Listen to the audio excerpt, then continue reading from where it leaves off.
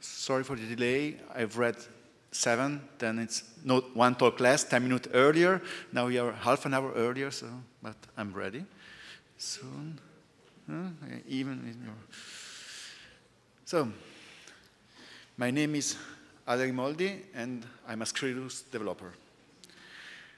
Uh, for those who have only read the title here, we are not talking, talking about this pipe, but something like small tools, like a Unix pipe.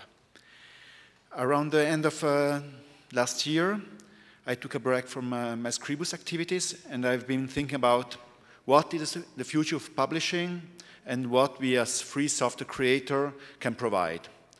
One of the topics I focused on was how, if it's possible to create a zoo of small tools, each solving a specific task, instead of having only one monolithic program. Um, what I was doing was mostly an EPUB exporter from Scribus, which means we have a uh, wait, we have a software like Scribus, which is done for to manage fixed, very exact measure, measurement and proportion, and we have to go to for a liquid layout from an EPUB, which adapts to the device you read on.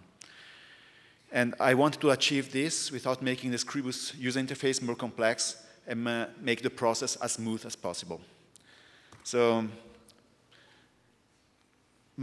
does it have to be a complex task, complex software, complex user interface? It's often so. Most users don't really seem to mind that uh, their screen is cramped, but still they're getting used to small, use small uh, applications with a tiny user interface, nice user interface, very clean, on their phones, on their tablets, on the web. Um, yeah, so maybe they still want one application that's all, but on the other side, they're starting to do things with small application. But each of these apps they have on their phone, each app they use on the web, are isolated islands. So the idea is to create a pipe between those applications. So, question, is this the pipe we need? The Unix pipe? Um, it's, for those who don't know the Unix pipe, it is sign you see over there before the square. And it's a small command which you put between two comments and will make that one comment, the output of one comment goes to the other comment and uh, the second command make what it needs. we have here an example. We have an ls, gives a list of files. Then we cut some characters, and we sort by the fifth column, which gives us uh, the fifth column is the time, no, the size. I've removed many things, and we got two pipes in one command. It's very flexible, very easy to do. But we already see one problem. The list is not by size, it's by, by the alphabetic order of the size number. So 2000, uh, 20,000 comes before 2003, 2374. There is probably a way to solve this issue, but you get more and more complicated. So we have a problem with, a, with a Unix pipe. It's only text-based. It only knows characters one after the other. It doesn't know anything about, about those characters. It doesn't know that I, I asked to sort by size. And I have almost no way to say that. And if now I come from graphics background, it will be hard to use the pipe to manage um, pictures maybe no music or uh, uh, formatted text and things like this. It seems that the idea of managing uh, multimedia, graphical input in the terminal, in the shell, and so on, is catching on. Uh, a few months ago, we finally had the release of Enlightenment. There, for every developer here, and who maybe doesn't know Enlightenment, it took them 12 years to get to the next release. So I think all of us are better in shape than Enlightenment. But they did very cool things, and it was usable also in the meantime. But they, they create now a terminal where you can show icons, you can click on them, then it's get bigger. Interesting. We have seen a few days ago Mikado. Also, nice idea, idea. Pipe doesn't have to be a sign like a line. We could get such a nice editor from the node-based editors and put things together. Could be a nice thing to do. Another software which somehow does pipes is Phatch, which has also already been presented at other LGMs. It's a list of comments.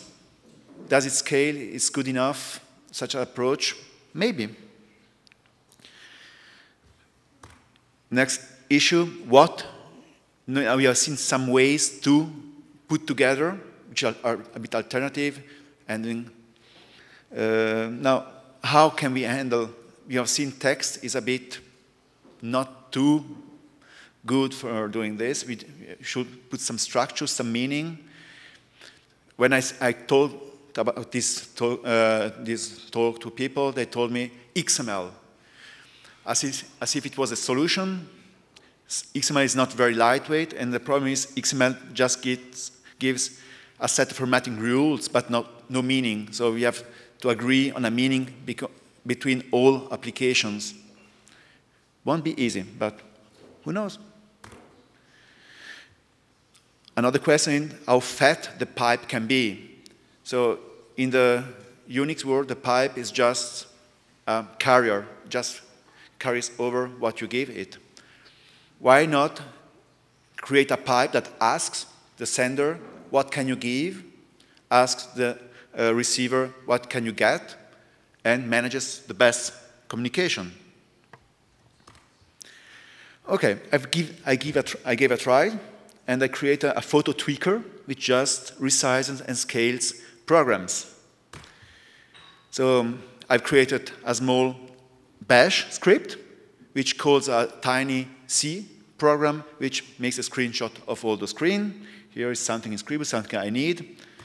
Um, it launches Photo Tweaker with the picture which is in temp directory, and I can resize by scaling the, the window and by selecting, I say which area is to be cropped, and as soon as kit, it's saved the image with a new crop and new scale.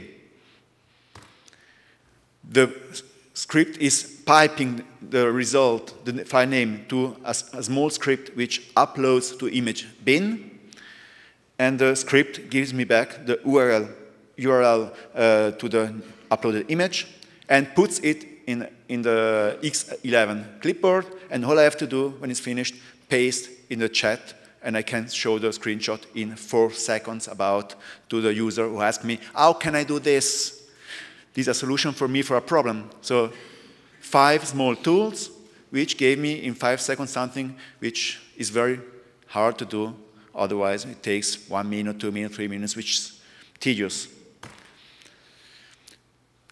Right now, what I'm doing, I'm piping file names. Is it a solution? Not really. We really need something better. Um, back to the EPUB exporter and Scribus. I think I skipped this. But yeah, I've, I was thinking about multiple output, how to do it. And uh, I also talked much to Claudia and to uh, Manuel, as OSP people also did, and I'm very interested in what the OSP crew will do with HTML and CSS. I think it's about in this area of thoughts. Well, if somebody has something to tell me about this, you can reach me by this email, and I think one small question is there is a place, but not more. For this. So pipes. One question about pipes or not a pipe. Okay. Not yet. Oh, yes. Have you looked at web intents? Web intents? Web, uh, WebDB Yeah, I and understand. then- okay. Yes and no. Yes and no. I think it will be hard to make pipes on the web, but why not? Uh, you have, have you an idea yourself of what could be a pipe on the web? Yes, uh, web intents. Webintents.org. Ah, it's something, I, I, th- I thought if I have intents to do something for the web, No, no, no, no. it's, it's actually called web intents. what is web, web intents then? Um, it's like uh, Android intents, but for. what uh, is ab- Android, in, uh, Android intents? Uh, you have a program that uh, has data, and you can uh, share that data with another program, and then kind of pipe it across programs. You can do it on Android, and uh, this is a, a, a project for the web. Um, Okay. And uh, there are some other uh, things that can pipe from one web application to another, like if first this, then that. But that is uh, proprietary. But it's interesting to look and see I have a look at it. how they're doing. it. Okay. Sorry for not understanding your questions. Thank you for this question answer and thank you, Ala.